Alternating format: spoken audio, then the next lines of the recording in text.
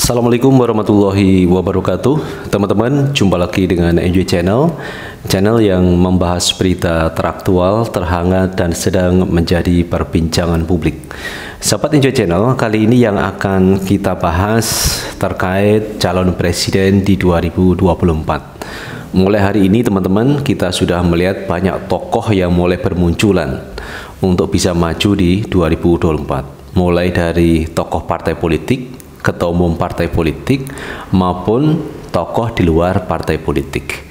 Nah, kalau kita lihat beberapa nama yang cukup potensial seperti ketua umum partai politik Pak Prabowo Subianto, kemudian ada AHY, kemudian ada Erlangga Hartarto. Jadi nama-nama ketua umum partai politik itu juga mulai diorbitkan untuk menjajal kemampuan di Pilpres 2024. Kemudian di samping itu ada tokoh-tokoh lain yang di luar ketua umum partai misalkan ada Ganjar Pranowo. Ini juga mulai diusung. Ada Puan Maharani. Dan ada juga tokoh-tokoh di luar partai politik seperti ada Ridwan Kamil kemudian Pak Anies Baswedan. Dan saya melihat Pak Anies ini adalah tokoh potensial non partai politik yang ini sangat mungkin untuk maju di Pilpres 2024 Nah teman-teman ini ada pendapat dari uh, eh, IPO mengenai kans Anies Baswedan untuk maju di 2024. Kita akan baca berita teman-teman dari Kumparan News. Anies diprediksi jadi capres potensial non parpol paling kuat. Direktur Eksekutif Indonesia Political Opinion, Dedi Kurnia Sahputra, memprediksi Anies Baswedan bakal menjadi capres potensial non-parpol terkuat di Pilpres 2024. Anies kata dia memungkinkan bakal diusung oleh koalisi Islam jika jadi terbangun di 2024. Jadi Pak Anies adalah tokoh non-parpol paling potensial. Kenapa paling potensial teman-teman? Karena elektabilitas Pak Anies tidak bisa dianggap remeh karena Pak Anies ini masuk dalam e, tiga besar kalau tidak Pak Anies, Pak Prabowo atau Ganjar. Jadi elektabilitas cukup besar dari Pak Anies Baswedan. Padahal Pak Anies tidak punya partai politik, bukan kader partai politik. Kemudian yang kedua ukurannya adalah yang menyertai tokoh tersebut, artinya yang mendukung tokoh tersebut. Kita lihat beberapa daerah sudah deklarasi mendukung Pak Anies di 2024. Ini adalah kekuatan massa di bawah. Jadi real kekuatan dari Pak Anies Baswedan. Makanya Pak Anies adalah calon potensial non parpol yang bisa mungkin maju di 2024. Kita baca berikutnya teman-teman. Koalisi Islam jika terbangun cukup banyak tokoh potensial, mulai dari Anies Baswedan, atau Muhaimin Iskandar. Meskipun paling mungkin dengan elektabilitas tinggi saat ini masih di Anies Baswedan. Kata Deddy Kurniasah Senin 21 Februari 2022 dengan prestasi Anies sejauh ini baik prestasi kinerja hingga popularitasnya semestinya ia cukup menarik bagi parpol ungkap Deddy Partai politik yang dimaksud adalah mereka yang belum punya tokoh menonjol, misalnya Nasdem, PKS, PAN, P3, atau bahkan parpol non-parlemen.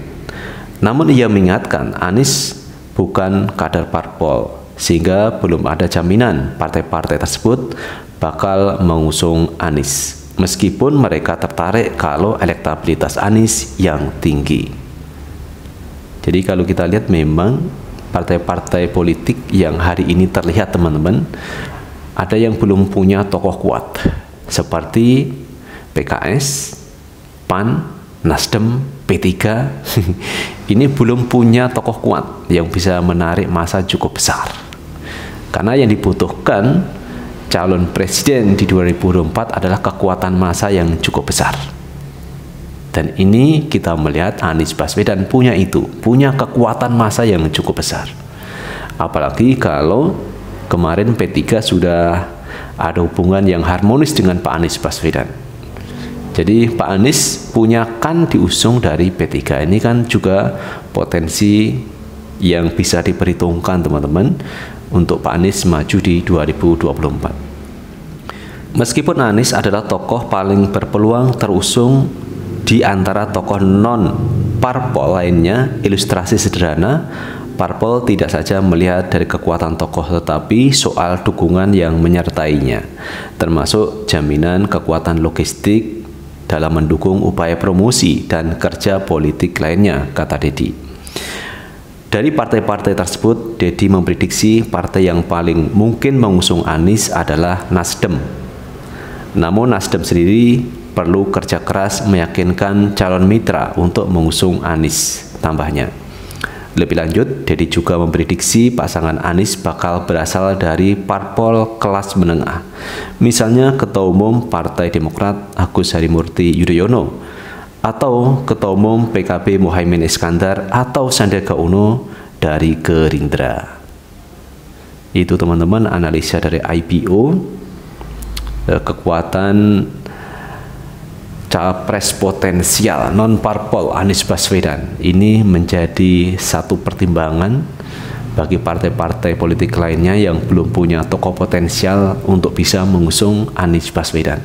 Karena Pak Anies punya kekuatan punya elektabilitas yang uh, cukup besar teman-teman. Karena di berbagai daerah kemarin kita lihat sudah mulai banyak deklarasi Anies Presiden Anies Presiden itu menunjukkan bahwa dukungan Anies ini cukup besar di kalangan bawah di kalangan rakyat jadi tidak salah kalau memang Pak Anies ini menjadi salah satu kandidat calon presiden di 2024 yang diunggulkan non parpol jadi bukan dari partai politik jadi ini kan luar biasa teman-teman. Anies Baswedan saat ini menjadi gubernur DKI Jakarta yang akan purna selesai pada bulan Oktober 2022. Ini waktu yang cukup pendek Pak Anies Baswedan menjabat sebagai gubernur DKI Jakarta. Nah, ada kekosongan waktu yang ini agak cukup lama teman-teman sampai 2024. Dan ini menjadi peluang juga Pak Anies untuk konsolidasi ke daerah ke basis masanya untuk uh, bagaimana bekerja sama-sama di 2024. Jadi kalau Pak Anies ini selesai dari jabatan gubernur, maka beliau akan punya banyak waktu luang untuk konsolidasi ke daerah. Dan ini menjadi peluang tersendiri bagi Pak Anies Baswedan. Jadi apa yang disampaikan oleh IPO teman-teman ini sangat realistis kalau Pak Anies nanti maju di 2024. Tetapi ada pandangan saya yang mengatakan bahwa Pak Anies ini kan bukan seorang pebisnis. Tentu Pak Anies tidak punya duit banyak untuk maju di Pilpres 2024. Nah ini kan menjadi persoalan tersendiri. Karena namanya logistik seorang calon presiden tentu harus punya uh, dana yang cukup besar. Sementara kalau kita lihat Pak Anies tidak punya dana sebanyak yang diperkirakan sebagai seorang calon presiden. Jadi tidak punya duit. Kemarin bahkan Fahri Hamzah mengatakan kalau Pak Anies disandingkan dengan Ridwan Kamil, dia malah mengatakan sama-sama tidak punya duit. Nah, sama-sama tidak punya modal.